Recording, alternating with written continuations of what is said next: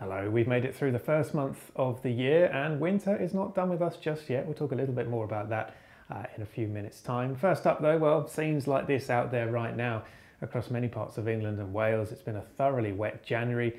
Uh, waterlogged fields, rivers bursting their banks, even groundwater creeping up from below uh, as well. Now, for east and northeast England, it was the third wettest January on record. For East Anglia, the eighth wettest January, and that comes on the back here of the fifth wettest December on record as well. So when you add those two months together, December and January, uh, for the period just gone, December 2020, January 2021, it comes in at third place in a series back to 1862. So that is quite an exceptionally wet uh, spell of weather here.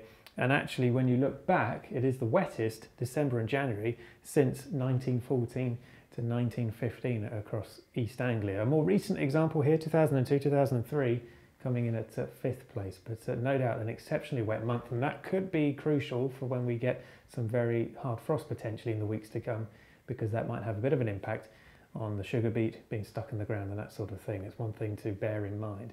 Now, another thing that we've been looking at over the last couple of weeks, uh, Fred uh, talked about this last week, the snow event that we had on Sunday, the 24th of January, so just over a week ago.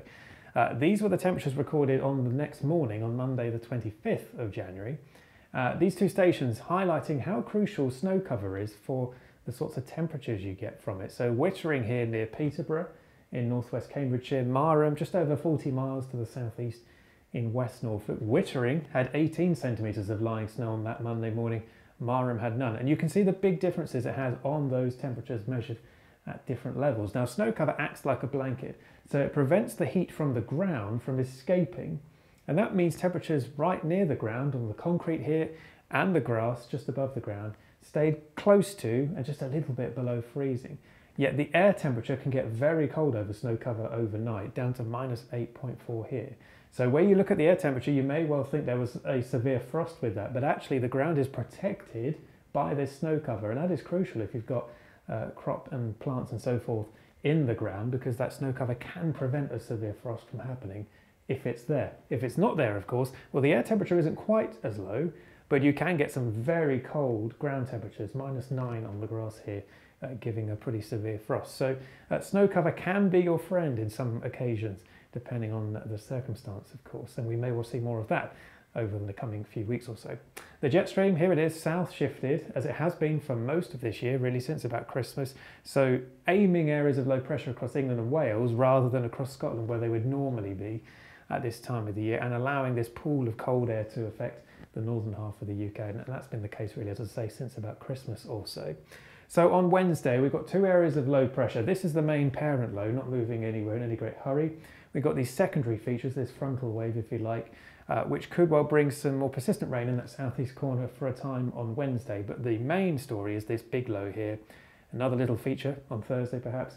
But notice throughout this whole sequence, this constant feed of moisture coming in on these easterly winds on the northern side of that low into Scotland. So we've got day after day of rain and snow across Scotland. There's going to be a lot of water here in the form of rain and snow, mainly focused on the eastern side of Scotland where you've got that onshore flow off the North Sea. Uh, where on the western side of Scotland you've got some protection from the mountains here, so less rainfall on the west side where it's normally wet at this time of the year. So the rainfall anomalies are sort of reversed, if you like, uh, in that respect. Further south, as I say, we'll have these couple of features coming through Wednesday and Thursday with some more organised areas of rain, but in between something a bit drier with a few showers along southern and western coast. But broadly speaking, low pressure is in charge for the rest of this work week. Really cold air locked in across Scandinavia, and that's why these lows can't move anywhere because that is blocking the progress of these lows from clearing through and bringing in the next batch off the Atlantic. And that becomes more crucial into the weekend as well. Now, to understand what's going on this weekend, we have to look at the bigger picture across the globe. So, over North America, a lot of cold air over Canada at this time of the year, and this is likely to dig south quite a bit across central and eastern parts of the US later this week and into the weekend. That will cause the jet stream to dig south, but equally it will strengthen the jet stream because the jet stream is driven by warm air from the tropics meeting very cold air coming out of the polar region. So where you get these two squeezing together, you get a faster flowing uh, jet stream that becomes more active. That may come into play later on next week for us. For the weekend here, we've got this big dip in the jet stream here, across Spain. Very warm air actually across the southern half of Europe later on this week, but incredibly cold air, as has been the case in Scandinavia for a few weeks now, locked in place. So again, you've got that temperature contrast. We've got a fairly active jet pattern, even if it is quite amplified. And when you get these strong temperature gradients across it, you can spin up fairly deep areas of low pressure, especially when it interacts with the jet stream. And that's the difficulty this weekend because this jet stream is going to develop areas of low pressure near Spain, want to push them north across France, but how far north they get uh, depends on its interaction with this big block of cold air sitting across Scandinavia. And that's where things get interesting from a UK perspective as well. So the start of the weekend, we've got that old low sitting somewhere over the north and western parts of the UK. We're starting to see another area of low pressure developing across Spain and Iberia as well. And by the end of the weekend, it's likely this feature will fizzle and slip a bit further south and sort of joining forces with the low coming up from Spain across France. So the question is, how far north can this push? Now, as that first low fizzles and clears south, what we're left with is an increasingly cold easterly wind coming out of Scandinavia bringing in that very cold air that we've seen building over Scandinavia for the last few weeks. So turning increasingly cold across northern Britain early in the weekend, and that will gradually extend southwards as we go through the weekend and that low pressure starts to clear. But the question is, does it get all the way down into the southeast, or will we still have some slightly less cold air trying to cling on to the extreme southeast closer to that area of low pressure? Now, the most likely scenario is this low stays to our south many of us go into this cold east northeasterly wind and that in turn moving over a relatively warm North Sea will bring quite a few snow showers into eastern parts of the UK in particular but because of the strength of that wind they will blow well inland uh, as well. So even western areas which are generally more sheltered in this situation could still see some snow showers getting that far west especially if we get some more organized troughs moving through from the east as well. But it is something to bear in mind because this low could prove problematic and if it does push further north, well, initially it could bring a longer spell of rain with snow mixed in with it, but it could also bring some slightly less cold air potentially into some southern parts of the UK. There's a bit of uncertainty about exactly how far north and therefore how cold the air might be across the UK the early part of next week. But as I say, the most likely scenario is it stays to the south of us and we get a cold easterly wind bringing in quite a bit of winteriness, some sleet and snow in eastern parts of the UK as well. So to understand that a little bit better, we've shown these before. This is an ensemble plot of the air mass that's about a measure of the temperature about a mile above the ground. I've picked Newcastle here as an example. So each of these grey lines is a different computer model. The red line here is the median or the middle value, if you like, of all of these uh, grey lines, just to highlight the trends. Now the black line here, that's average for the time of the year. Uh, just for comparison, I put on here the beast from the east, in 2018, just so you can see what we're talking about in relation to how cold that was. That was arguably some of the coldest air we've seen in the UK during the past 40 years. You have to go back to uh, 92 or even 87 to find some colder air over the UK uh, than the beast from the east. So we're not, as you can see here, we're not talking about the same magnitude of cold air that we saw back in 2018, but there are some of these models that are going pretty cold, even if they're not going quite as cold as 2018. And the most likely scenario is it will be the coldest air we've seen so far this winter coming in from the east or the northeast.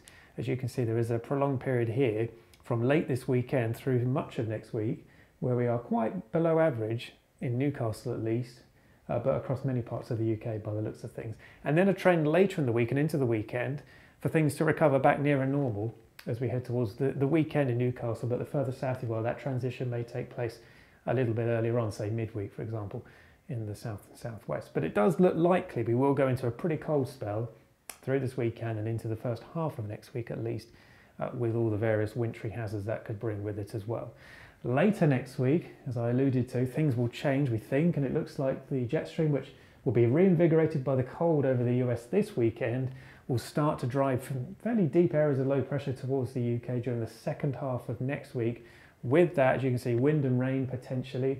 And again, on the leading edge, as it moves into that colder air, initially we could well see some more significant snow before eventually that mild air tries to push into southern Britain towards the weekend and the beginning of the following week. Now, there's still a lot of uncertainty about how exactly next week will play out. We're giving you the most likely solution uh, at the moment, and that is obviously cold for the first half of the week and then uh, less cold and more wet and windy and eventually milder as we head towards the end of the week, although it could well stay cold in Scotland where the mild air never really quite gets um, this far north. And again, like we've seen so far, there could well be some fairly significant snow in parts of uh, the, the UK as well. Now this is a meteogram trying to highlight lots of different weather variables in one diagram. Uh, for Lincoln here. Uh, just a few things to, to point out primarily. So this uh, red line and the shading here, that's the most likely forecast air temperature, the shading denoting the spread of possible outcome using our ensemble data. And you can see naturally that shading gets larger the further ahead you go as the uncertainty uh, grows. The red line is the most likely value for the air temperature as you go forward over the next 10 days or so.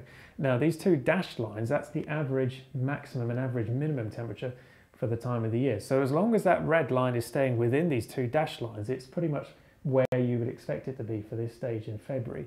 But you'll notice through the sequence that trend downwards to below average temperatures by the end of the weekend and into the beginning of next week. And then right at the end, there's just this little bit here where it comes back up nearer normal around Thursday next week or so. Just a hint that things may recover later on in the week. Now, another thing to point out here, the chance of snow from all of these ensemble members, fairly high, as you can see in this row here, early on this morning, and we did see some snow in Lincolnshire last night. Then we start to get these chances coming up again late Friday into Saturday. So there's clearly a bit of uncertainty about how quickly that transition to cold easterly uh, comes in. But there is a growing signal here by Sunday through Monday and into Tuesday for quite a few of these. These are percentages of our forecast models suggesting the risk of snow in Lincolnshire. Uh, and even that's still there later on in the week, even though temperatures are coming up. And that's because as those fronts come in off the Atlantic, we could well see um, some snow on the leading edge for a time. On the wind side of things, notice these easterly winds kick in some point on Saturday by the looks of things, quite brisk as well, some quite strong, uh, you know, brisk biting northeasterly winds Sunday, Monday uh, as well. And then eventually later on in the week, they start to swing around to a southerly, then eventually a southwesterly, just indicating things may turn less cold and more unsettled later on uh, in the week. So that was quite a lot of information. It is chopping and changing quite a bit. The themes are broadly the same, but if you want specific detail for your part of the world, given the uncertainty in the forecast at the moment, the best advice really is to, is to speak to our forecasters because we're looking at all of this data and we'll try and break it down for you and hopefully give you some useful information uh, going forward. But we're available on our forecast hotline every day, including weekends, from 6 in the morning through till 6 in the evening. So that took us to the end of next week. Now that change over to unsettled weather by the end of next week is likely to continue into the beginning of what we call week three. So this is the beginning of this week here, Monday the 15th of February. Uh, the pressure anomalies here, higher than average pressure towards Iberia and again still to the north of the UK, but it's likely low pressures will squeeze through in between. Uh, so I still think an unsettled look to things for the beginning of this week with some wet and windy weather, but relatively mild weather across southern Britain in particular, whereas the further north you are, you may well stay, as you have done so far, in cold weather much of the time. Uh, in terms of rainfall, well, drier than average, where you've got that uh, higher than average pressure down here across Spain and Portugal, still very unsettled. There's a, a, separate area of low pressure spinning around in Eastern Europe during this time frame, so that's why we've got above average rainfall here. And I think for the UK, wettest during the first half of the week, and then perhaps becoming a bit drier later on in the week, and that's why the signal becomes rather weak here uh, because you're sort of wet at first, dry later, all averaging out to near normal um, for the time of the year. And still that cold air locked in across Scandinavia, Eastern Europe, even into parts of, say, northern Germany, for example. In the UK, I think temperatures will recover to above average for some places through this week, especially in the southern half. And the further north you are, you're more likely to stay perhaps below average during this time frame. Now, Fred mentioned this last week. This has been a, a, signal for a little while now for pressure to build a bit more as we head towards the latter part of February. So it's certainly possible we might see low pressure becoming less frequent, shall we say, better chance of maybe some higher pressure uh, building in. Details yet to be determined for the end of the month. Now that could still bring some fairly chilly conditions with frost overnight and fog, low cloud that doesn't really clear that sort of thing. So it doesn't necessarily mean mild. It could actually be quite a chilly spell of weather uh, if that high pressure develops, depending on where we see that position of the high and where the winds are blowing from. But the most likely scenario is for fairly chilly, but something a bit drier uh, for the latter part of the month. You can see the brown shading here indicating slightly drier than average uh, rainfall, but still wetter than average across Central and Eastern Europe. So there is quite a bit going on, potentially some fairly hazardous weather um, as we go through the weekend and more especially into the beginning of next week. This week, we are expecting further rain and significant snow across Scotland over the next few days, and even elsewhere, there will be some showers or, or even some longer spells of rain occasionally in the far southeast. But then the real cold turns up through the weekend, increasingly so as the weekend goes on, and it could well be significantly cold for the beginning of next week with easterly winds bringing in snow showers again, mostly in the east, but they will push well inland at times on those strong winds and where we get any more organised features coming in. And then later in the week, the possibility it may turn more unsettled from the west or the southwest, uh, and that could well be preceded by some snow for a time. And eventually it will start to turn milder towards the weekend and into the beginning of the following week in more southern parts of the UK. So that's how things are looking at the moment. There's a lot of possibilities. This is the most likely scenario. Uh, and as ever, we'll try and keep you up to date as usual with our day by day forecast on our social media.